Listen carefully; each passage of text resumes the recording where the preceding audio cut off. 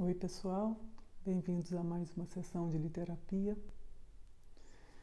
A sua quarentena já virou quarentena?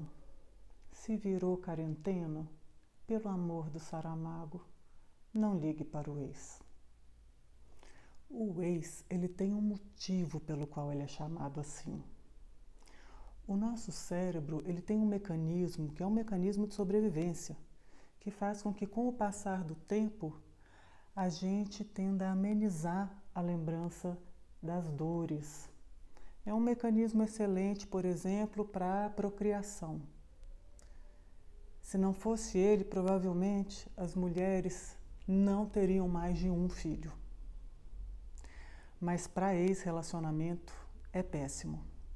Porque a gente se esquece por que foi que esse relacionamento não durou. Ou pelo que foi que ele durou o tempo que durou. Né? Às vezes uma relação dá certo, mas dá certo por um determinado tempo. Então, muito cuidado com esse saudosismo. Né? 90% das vezes ele é mais recheado de fantasia do que de qualquer outra coisa. Né? E na quarentena, tudo isso fica mais exacerbado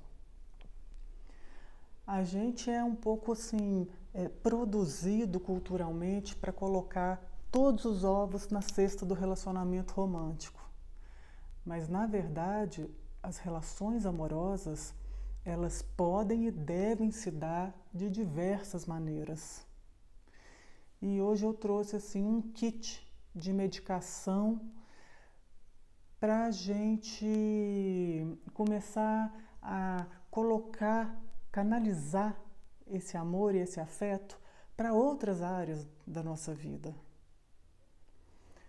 Uma área boa para a gente canalizar o afeto e que fica um pouco esquecida é a natureza. E eu trouxe o Bambi, que é um livro que eu acho a coisa mais fofinha a gente se relacionar amorosamente com a natureza, entender as fases, compreender um ponto de vista que é além do humano. Né? A gente fica martelando nessa tecla do antropocentrismo e o biocentrismo, né? o, cujo centro é a vida, isso fica mais carente do que a gente. Então o Bambi é um ótimo remédio. Olha que linda essa edição. Ela é muito fofinha. Essa história é de 1923 e é tão atual. Gente, como é atual. Então, aqui, para a gente se relacionar amorosamente com a natureza. Para a gente se relacionar, só trouxe remedinho leve, tá? Para a gente se relacionar com a família e com o tempo. Trouxe esse gibi do Chico Bento, pelo Orlandelli, que também é uma coisa fantástica, maravilhosa.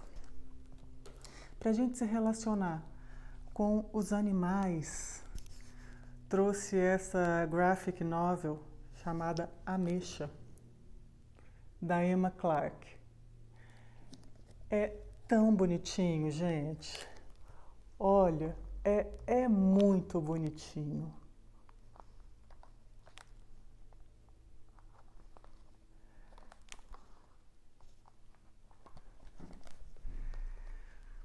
Para a gente canalizar o nosso afeto para as nossas amizades.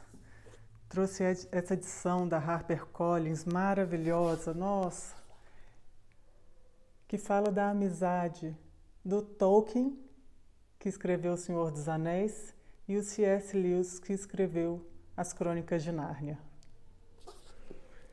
É um livro muito, muito lindo, muito especial também. E a capa dele é uma delícia de tecido. E por fim, o nosso time de hoje se encerra com esse bálsamo que é um dos meus livros favoritos da vida. O Walt Whitman é o meu literapeuta preferido de todos os tempos. E aqui tem poesia, gente, até com Machado. Quer dizer, a gente consegue se relacionar amorosamente até com uma vassoura, uma panela, uma receita, né? a nossa casa, claro.